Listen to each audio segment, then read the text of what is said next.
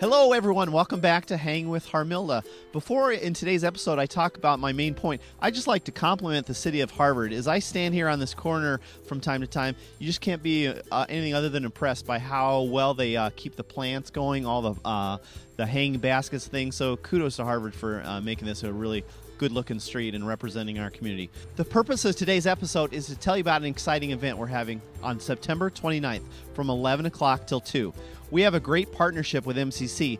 In this event, full of free food, music, and entertainment, will be to help people understand how that connection to MCC isn't really that far away. The idea is this if you've ever thought about furthering your education but didn't quite know how to piece it together, we're going to offer a free class here in Harvard called MCC 101. That class will allow you to learn about MCC, what career opportunities can come from ongoing education, and all the opportunities that MCC can provide us. This course will be designed to let anyone who participates know about how we can arrange transportation for you. How can we help with financial aid? We're going to try to remove every single barrier obstacle that might be in anyone's way so you can have that chance to further education. This event isn't just for our current students, it's for anyone interested in learning more about how they might connect with MCC to further their education. We hope you'll join us.